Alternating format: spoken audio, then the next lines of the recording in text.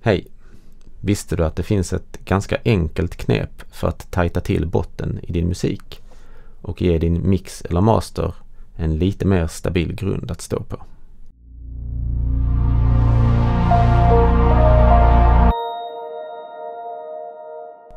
Tricket förutsätter att du har kommit eh, långt i mixprocessen och är nästan klar. Det vill säga att du har ställt alla nivåer, lagt på alla effekter du vill ha och fått musiken att låta ungefär så som du vill.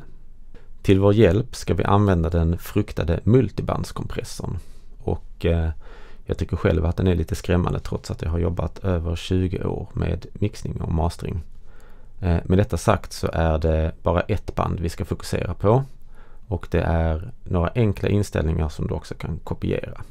Vi eh, börjar med ett ljudexempel så att vi vet vad vi har att jobba med.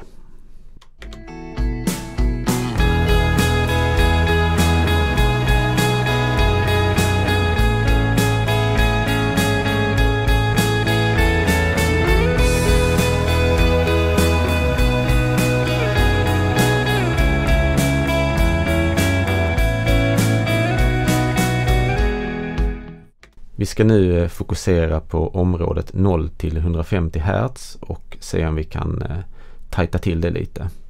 Och just det här området är eh, väldigt problematiskt för många, speciellt de som sitter och mixar i mindre rum med lite eller med dålig akustikbehandling.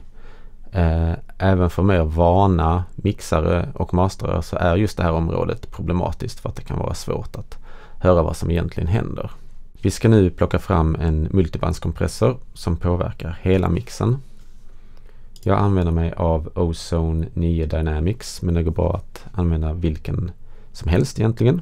Inställningarna som jag använder ser du här och de eh, ser ut som på vilken kompressor som helst egentligen. Du hittar dem även i beskrivningen under videon. Jag kommer nu spela upp låten och justera tröskelvärdet så att det blir ungefär 3-4 decibels kompression mellan 0 till 150 Hz.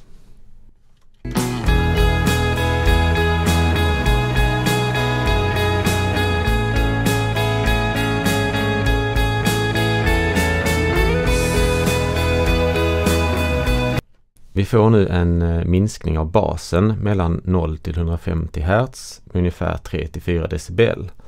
Och eh, den här minskningen vill vi nu eh, kompensera så att vi får tillbaks lite botten igen.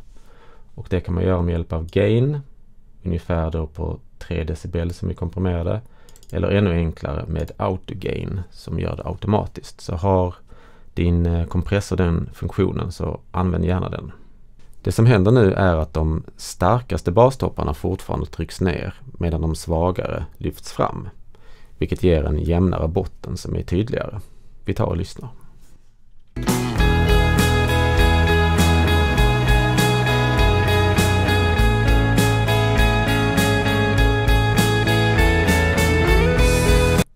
Kanske lite svårt att höra bara sådär.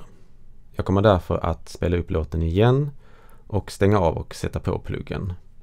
Jag vill att du fokuserar på baskaggen som känns mer grundad och basen som får lite mer djup när pluggen är aktiverad.